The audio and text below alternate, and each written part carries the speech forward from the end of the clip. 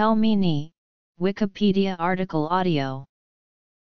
Pelmeni, Russian, plural, Russian pronunciation, singular are dumplings of Russian cuisine which consist of a filling wrapped in thin, unleavened dough. Ingredients Origin and History Differences Regional differences The dough is made from flour and water, sometimes adding a small portion of eggs. The filling can be minced meat, or fish. The mixing together of different kinds of meat is also popular.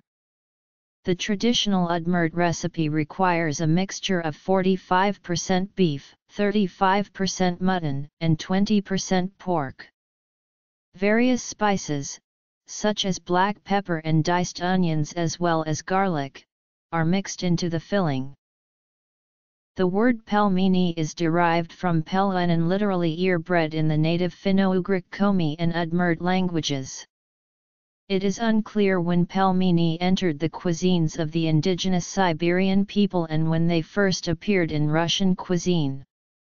One theory suggests pelmeni, or stuffed boiled dumplings in general, originated in Siberia, possibly a simplified adaptation of the Chinese wonton.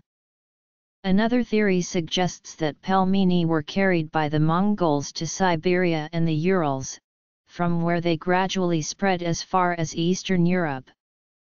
Pelmeni are particularly good means of quickly preserving meat during long Siberian winter, especially eliminating the need to feed livestock during the long winter months. Pelmeni belong to the family of dumplings, and are related to Ukrainian vareniki and Polish pierogi. In the United States and Canada, the term pierogi or pierogis is often used to describe all kinds of Eastern European dumplings, regardless of the shape, size, or filling. Pelmeni are also similar to Mongolian bansh, Chinese jiaozi or Chinese hundun. They are cousins to the Turkish and Kazakh manti, the Nepalese and Tibetan momo, the Uzbek chuchvara, the Korean mandu, and the Japanese gyoza and Italian ravioli.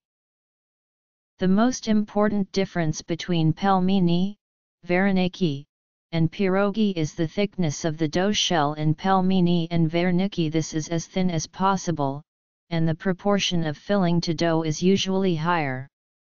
Pelmeni are never served with a sweet filling, which distinguishes them from vareniki and Polish pierogi, which sometimes are. Also, the fillings in pelmeni are usually raw, while the fillings of vareniki and pierogi are typically pre-cooked. The main difference between pelmeni and momos is their size. A typical pelmeni is about 2 to 3 centimeters in diameter, whereas momos are often at least twice that size. In Siberia, Pelmeni are traditionally frozen outdoors in the winter and treated as preserved food. Hunters or explorers heading into the taiga would carry sacks of frozen pelmeni with their provisions as easily cooked, non-perishable food. Pelmeni can be stored frozen for a long time and they are prepared immediately before eating by boiling in salted water until they float, and then 2 to 5 minutes more. Regional differences exist in the boiling of pelmeni. In the Urals, they are always boiled in water, while in Siberia they are boiled in salted water or sometimes meat or chicken broth. The cooked pelmeni are served on their own or topped with melted butter or smetana. Mustard, horseradish, tomato sauce, and vinegar are popular, as well. The Russian emigre community in Australia, most of whom originally travelled through China, generally adds soy sauce, as do the people of the Russian Far East. Some recipes suggest frying pelmeni after boiling until they turn golden brown.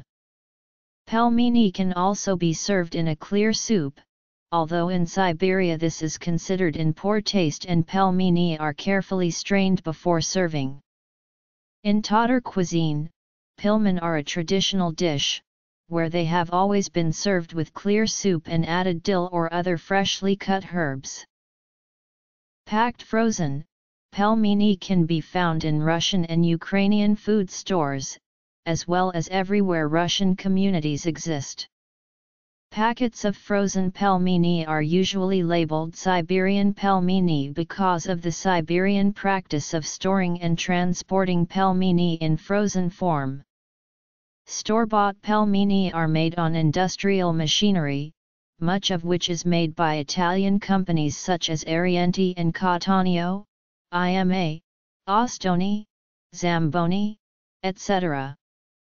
These pelmeni usually weigh around 15 grams each and look like a larger version of tortellini, which is why, for industrial production, Italian pasta machines are commonly used. Pelmeni are also commonly made at home. The easiest way is simply to make them by hand. Many cooks use specialized pelmeni makers, which are essentially molds that resemble muffin pans or ravioli molds, allowing one to quickly make a few dozen pelmeni out of two sheets of dough and a quantity of ground meat. In modern Russian and Ukrainian culture, and also in the Baltic states, store-bought pelmeni are considered a kind of convenience food and are associated with students' or bachelors' lifestyles, much like instant ramen, etc.